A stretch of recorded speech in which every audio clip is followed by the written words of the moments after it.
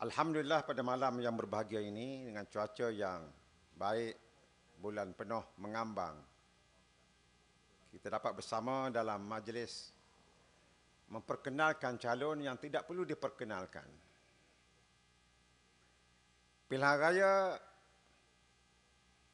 yang sedang kita hadapi sekarang ini adalah medan bagi seluruh rakyat negeri Terengganu dan lima negeri lagi untuk memilih pemimpin yang bukan sahaja menjaga rakyat di DUN Dewan Undangan Negeri atau kawasan masing-masing bahkan untuk mencari pemimpin yang akan menjaga negeri mengurus takbir negeri. Bila mengurus takbir negeri banyak perkara yang perlu dilihat untuk rakyat negeri. Dari perkara yang besar sampai perkara yang sekecil-kecilnya. Perkara yang menyentuh tentang pendidikan rakyat, menyentuh tentang kebajikan rakyat, golongan pelbagai yang ada di negeri, golongan pekerja, golongan petani, pesawah, peladang, penternak, nelayan, pekerja awam, pekerja sektor swasta, pekerja sendiri, hak dok kerja, penoreh getah, semua adalah rakyat yang perlu dijaga. Dan kita berebut untuk melaksanakan kebaikan dan kebajikan kepada rakyat ini. Bukan kita berebut nak bina bangunan paling tinggi. Hak boleh nyohu ke orang. Itulah fungsi dan tugas kerajaan. Kita kena keluar daripada politik lama.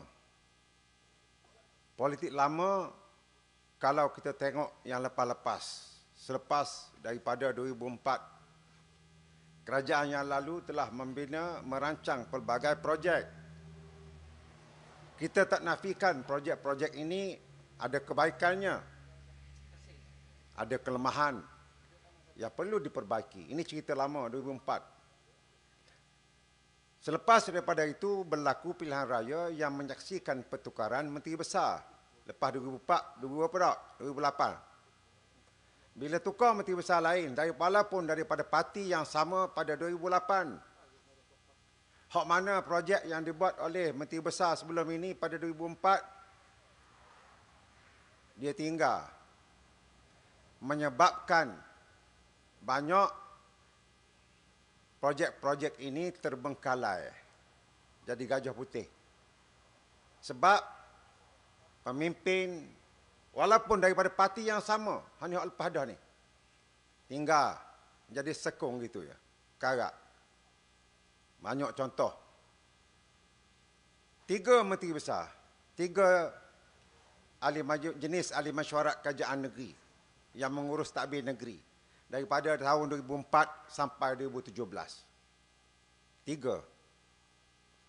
Naik hak ni, dia buat hak dia. Dia tinggal hak lama. Tukar hak lain pula, dia tinggal.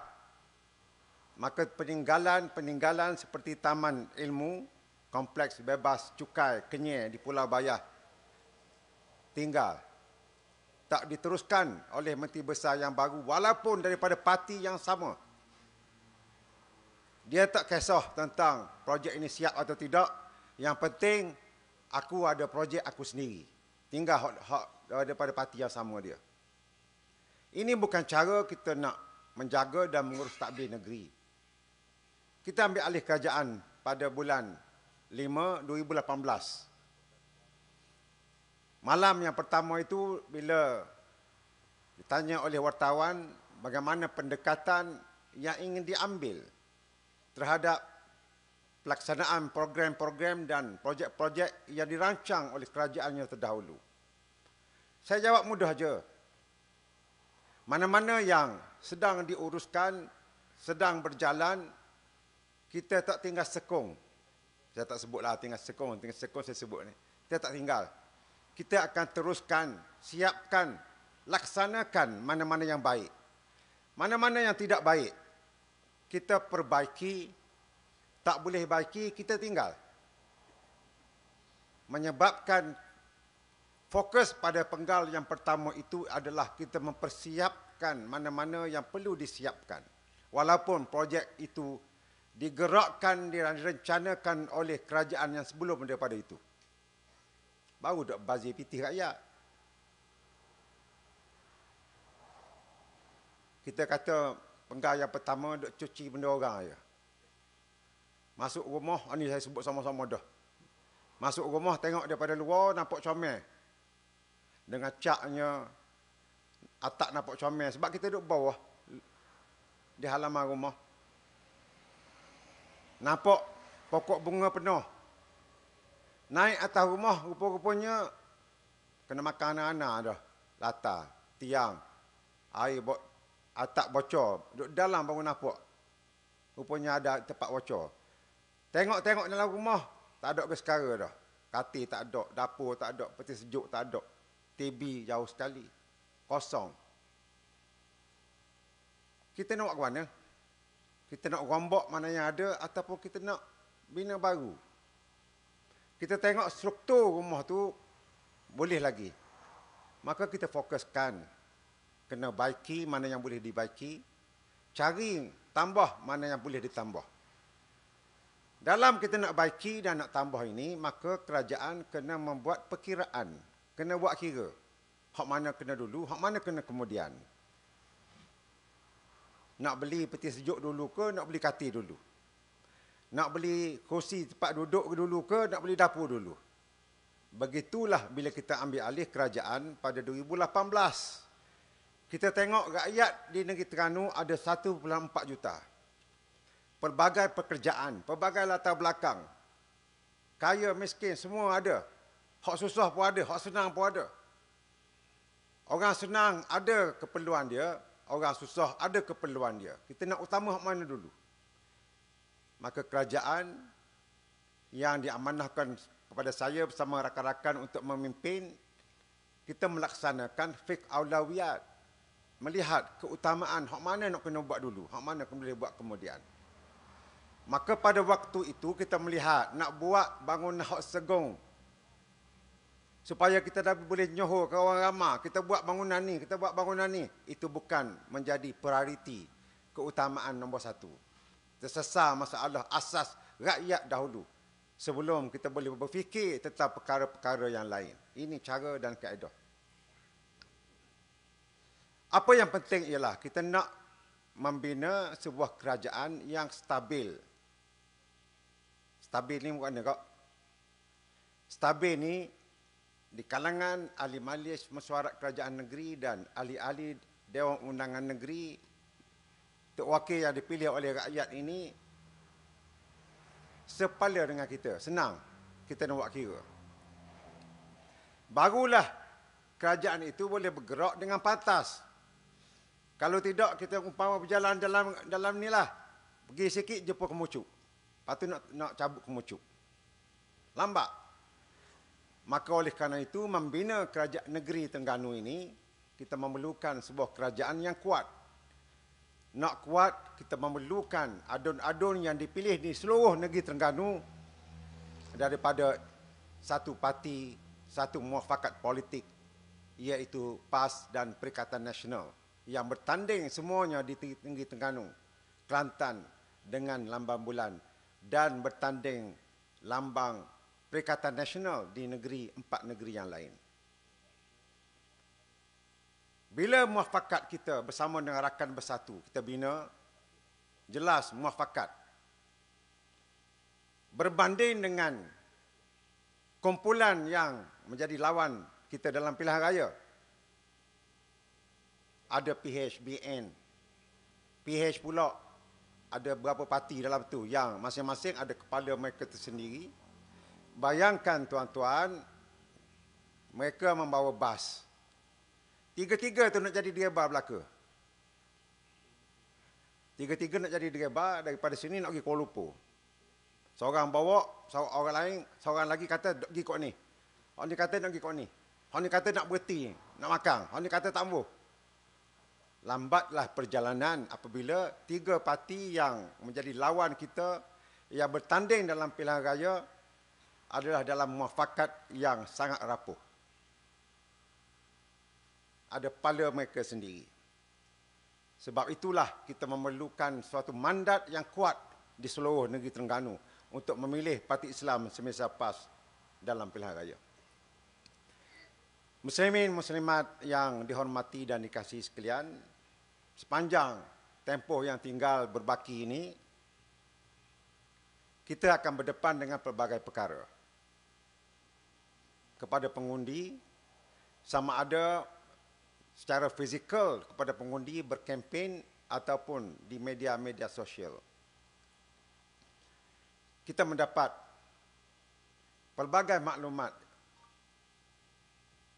dalam tempoh yang terdekat, dua hari, tiga hari lagi, serangan oleh lawan kepada terhadap serangan peribadi, fitnah akan diperkuatkan kepada kepimpinan. Sama ada kepimpinan pusat atau kepimpinan negeri atau kepimpinan kerajaan yang mengundi negeri.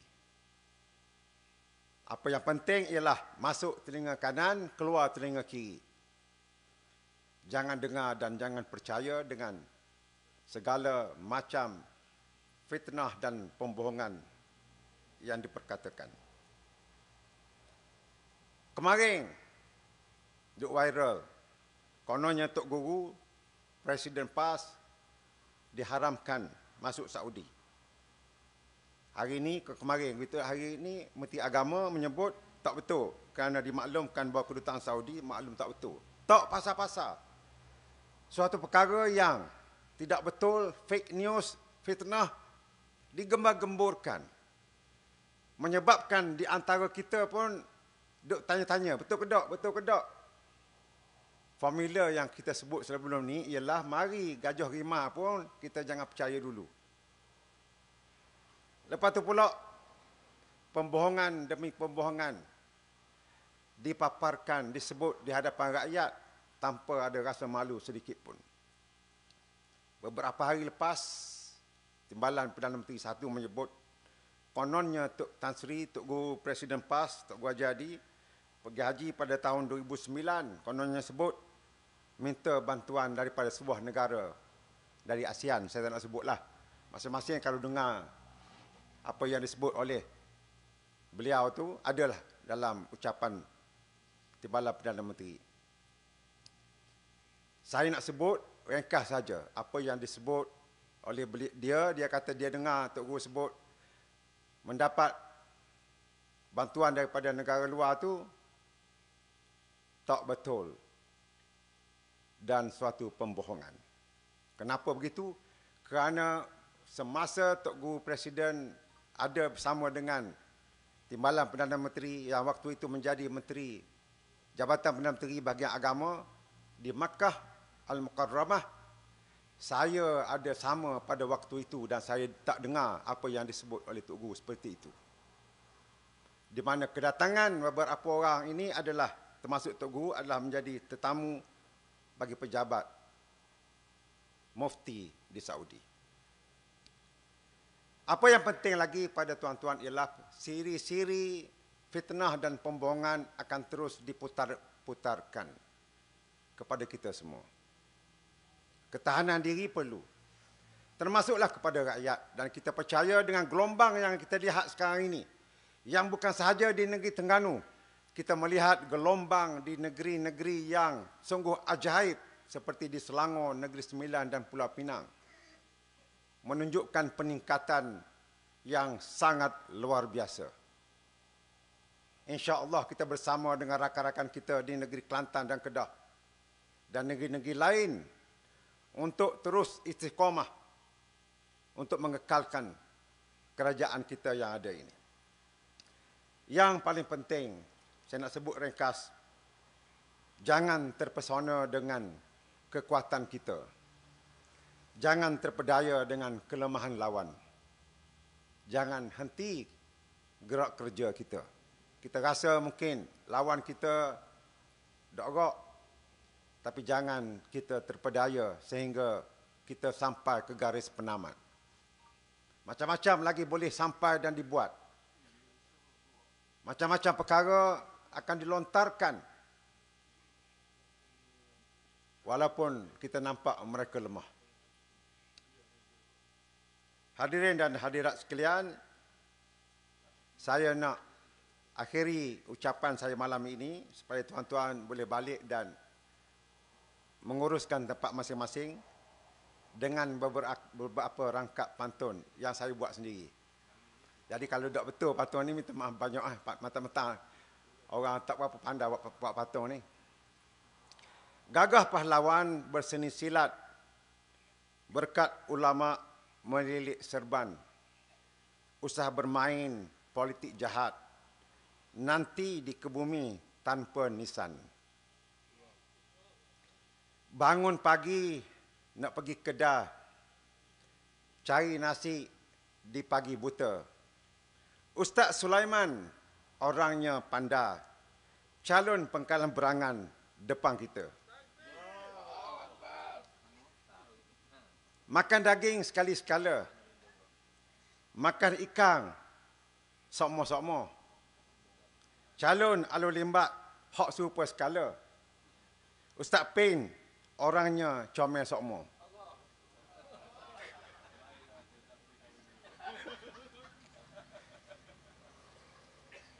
Gi sekolah nak jadi ustaz.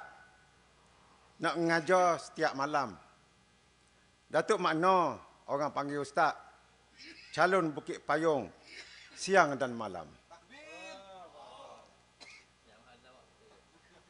hak ngelah. Malam esok, malam Jumaat. Lepas ceramah, pakat balik merata. Marilah kita teguh berpakat. Teguh pertahan Terengganu kita. Sekian wabillahi taufiq wa hidayah. Wassalamualaikum warahmatullahi wabarakatuh. Takbir.